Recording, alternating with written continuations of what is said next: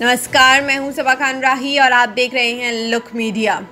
Covid 19 रोधी टीकों के दुष्प्रभाव का अध्ययन कर रही सरकार की एक समिति ने टीकाकरण के बाद एनफ्लेक्सिस की वजह से मृत्यु के पहले मामले की पुष्टि की है।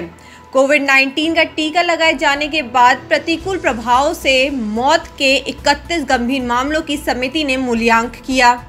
राष्ट्रीय ए समिति की रिपोर्ट के अनुसार अड़सठ साल के एक व्यक्ति को 8 मार्च 2021 को टीका लगाया गया था, जिसके बाद गंभीर एलर्जी होने से उनकी मृत्यु हो गई।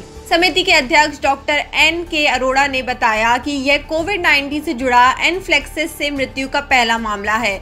इससे यह बात और पुख्ता होती है कि टीके की खुराक लगवाने के बाद टीकाकरण केंद्र पर 30 मिनट तक इंतज़ार ज़रूरी है।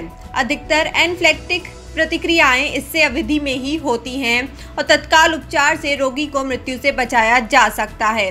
समिति ने पाँच ऐसे मामलों का अध्ययन किया जो पाँच फरवरी को सामने आए थे। आठ मामले 9 मार्च को और 18 मामले इकतीस मार्च को सामने आए।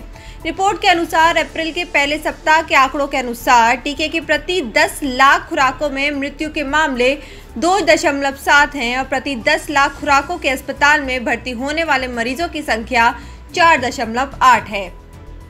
समिति ने कहा कि केवल मृत्यु होना या रोगी का अस्पताल में भर्ती होना इस बात को साबित नहीं कर देता है कि ये घटनाएँ टीका लगवाने के कारण हुई। समिति के अनुसार कुल 31 मामलों में से 18 मामलों का टीकाकरण से कोई लेना देना नहीं पाया गया। सात मामलों को अनिश्चित की श्रेणी में रखा गया। तीन मामले टीके के उत्पाद से संबंधित थे।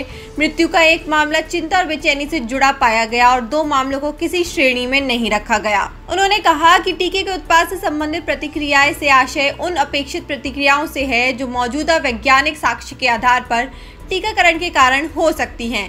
इनमें एलर्जी और एनफ्लेक्सिस आदि आते हैं।